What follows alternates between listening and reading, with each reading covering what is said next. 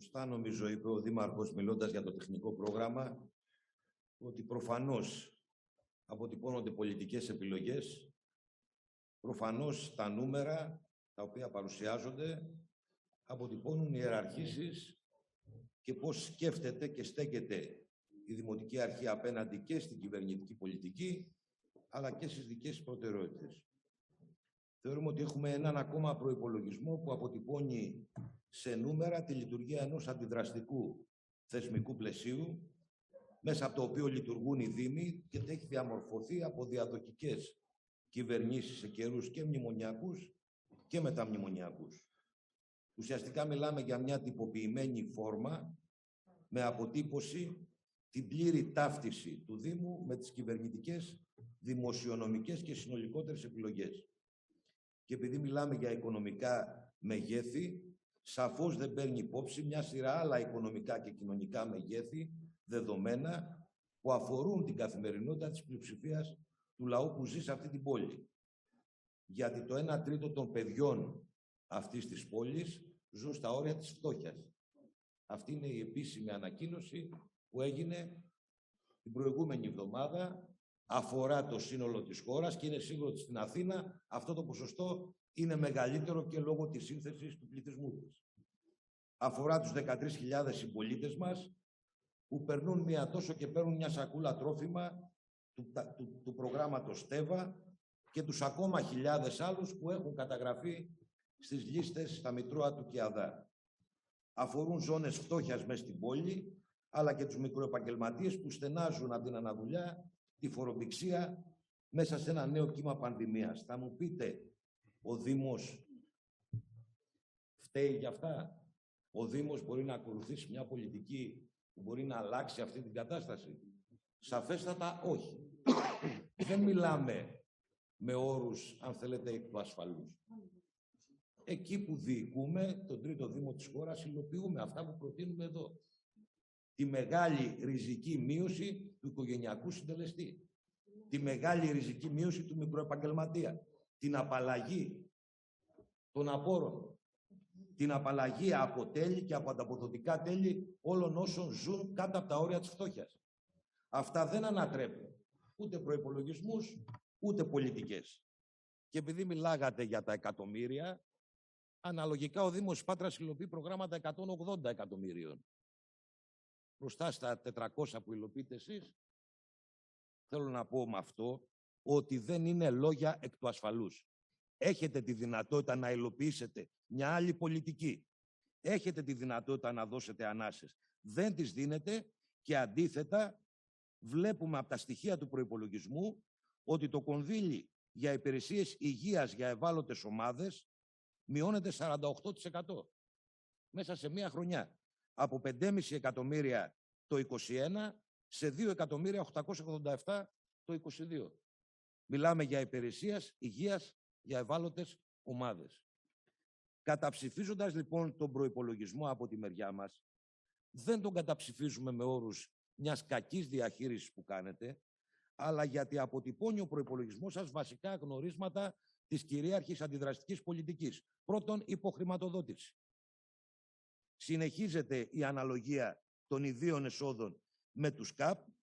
Συνεχίζεται, παρά το γεγονός ότι μειώνεται η εισπραξιμότητα λόγω της κρίσης και θέλετε να το διευρύνετε κι άλλο. Γι' αυτό μιλάτε για νέες ζώνες ελεγχόμενης στάθμευσης στην Αθήνα.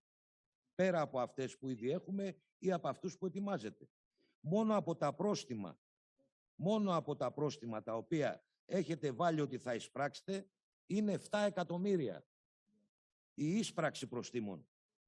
Πόσα είναι τα πρόστιμα που αναλογούν στους ξενοδόχους; 6.000. 6.000. Ουσιαστικά τους έχετε αφήσει ελεύθερους να εισπράττουν το παρεπιδημούντον και να μην το αποδίδουν. Και φαίνεται καθαρά από τα νούμερα παρακάτω και φαίνεται ίσως και η στόχευσή σας να καταργήσετε αυτό το φόρο. Αυτό το ελάχιστο που δίνουν αυτοί που επισκέπτονται την Αθήνα ή αυτοί που διανυχτερεύουν στην Αθήνα. Ενώ δεν υπάρχει καμία λογική από αυτό το κύμα των τουριστών να εισπράξει αυτή η πόλη και αυτή η κάτοικη κάτι. Και, εν πάση περιπτώσει, δεν είναι κάποια πατέντα επαναστατική, είναι πατέντα που ακολουθείται σε μια σειρά πόλεις. Πέρα από αυτό, η λογική της υποστελέχωσης υπηρεσιών. Πόσες από τις κάποιες χιλιάδες προσλήψεις που ανακοινώθηκαν την προηγούμενη εβδομάδα αφορούν το Δήμο της Αθήνας, ο οποίος κυριολεκτικά φιλορροεί από προσωπικό, την Παρασκευή ήμουνα στο ΚΕΠ στην Αγίας Λαύρας. Δύο άνθρωποι. Δύο άνθρωποι. 15 άτομα έξω περίμεναν. Αυτή η εικόνα είναι εικόνα όλων των λειτουργιών του Δήμου. Γι' αυτό και προχωρείτε στη γενικευμένη μερική ορισμένου χρόνου απασχόληση, αλλά και στην έμεση ιδιωτικοποίηση με τη γενίκευση των εργολαβιών. Το πράσινο, οι δρόμοι, τα οδοστρώματα και άλλα είναι δουλειές εργολάβων. Γιατί ο Δήμος δεν μπορεί φυσικά να υλοποιήσει με δικό του προσωπικό. Και αντίθετα, όχι μόνο σε αυτή την έμεση, αλλά προχωρείται και σε άμεση ιδιωτικοποίηση. Είναι η περίπτωση του τηλεφωνικού κέντρου, αλλά είναι και η περίπτωση του προγράμματος για τον ηλεκτροφωτισμό. Αλήθεια. Αυτό το πρόγραμμα των 56 εκατομμυρίων ηλεκτροφωτισμού της πόλης, ποια υπηρεσία θα το στηρίξει; Πόσοι έχουν μείνει στην υπηρεσία ηλεκτροφωτισμού. Τι προσλήψεις προβλέπονται το επόμενο διάστημα; Τρίτη βασική γραμμή σας η ανταποδοτικότητα. Παντού ανταποδοτικότητα. Και μάλιστα συμφωνήσατε στην ΚΕΔΕ οι Δήμοι να πάρουν και καινούργιες λειτουργίες, όπως είναι η εκπαίδευση και η πρωτοβάθμια υγεία. Και φυσικά η ΕΑΤΑ, το πολυεργαλείο, το οποίο έξω και πέρα από το Δημοτικό Συμβούλιο παίρνει προγράμματα, υλοποιεί προγράμματα, βγάζει δουλειά με τους όρους φυσικά τους απελευθερωμένους, τους οποίους αυτή μπορεί να βγάζει. Αναφέρθηκε ο κύριος Μπρούλιας. Για τις απαλωτριώσεις δεν υπάρχει αναφορά. Το είπαμε και στο τεχνικό πρόγραμμα. Θα ξαναφέρουμε τις αποφασισμένες, μία προς μία, και να πάρετε θέση. Και η χρηματοδότηση ήταν το δάνειο.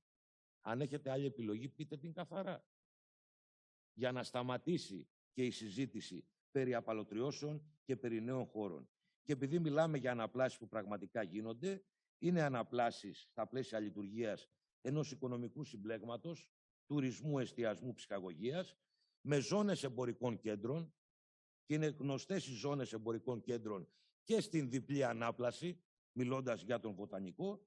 Και φυσικά εάν έχουμε τις επόμενες μέρες, σήμερα, αύριο, έντονα καιρικά φαινόμενα, ξανά η Χαλκίδος θα γίνει ποτάμι, ξανά η Ανθέων στον Μπορμπονά και στο ωραίο πάρκο σκύλων που ετοιμάζεται θα γίνει λίμνη, ξανά οι κάθετοι στην Ηρακλείου θα γίνουν χήμαροι. Μιλώντας μόνο για την περιοχή μου και έχοντας εικόνα του τι θα συμβεί αύριο εάν έχουμε μια κάποια έντονη βροχόπτωση. Και για να τελειώσω, μιλώντας και για ορισμένα ενδεικτικά νούμερα. Τέλος παρεπιδημούντων. Θα έρθω γιατί είναι σκάνδαλο. Είχατε υπολογίσει 1,6 εκατομμύρια το 2021 εισπράξατε 320.000. 320.000 εισπράξατε. Τα ξενοδοχεία διαφημίζουν ότι τη χρονιά του 2021 ο τουρισμός στην Ελλάδα φτάνει το 60%. Αυτά λένε. Άρα θα τα εισπράξετε. Άρα θα τα εισπράξετε. Γιατί ουσιαστικά κατεβάζετε στα 320 χιλιάρικα για το 2022 όταν όλα τα ροζ φύλλα των εφημερίδων μιλάνε για μια έκρηξη ξενοδοχείων που φτιάχνονται στην Αθήνα. Έχουμε κουραστεί να τα μετράμε. Κάθε είδους και κάθε κατηγορίας. Και φυσικά υπάρχει ένα ερώτημα. Για μισθοδοσία προβλέπονται 15 εκατομμύρια λιγότερα στον προϋπολογισμό του 22. Μισθοδοσία προσωπικού. Για ΔΕΗ, παρά τις αυξήσεις, προβλέπεται ένα εκατομμύριο 250.000 λιγότερα. Για συντήρηση οδών, πλατιών, παιδικών χαρών, κοινόχρηστων χώρων προβλέπονται 6.317.000 λιγότερα. Αυτά με βάση το τι προϋπολογίζαμε το 2021 και τι προϋπολογίζουμε το 2022. Είναι κάποια νούμερα που εκτός από το ερωτηματικό δείχνουν και μια πολιτική λογική και φυσικά να ξαναθυμίσω καταψηφίσουμε τον προϋπολογισμό όπως κάναμε και με το τεχνικό πρόγραμμα.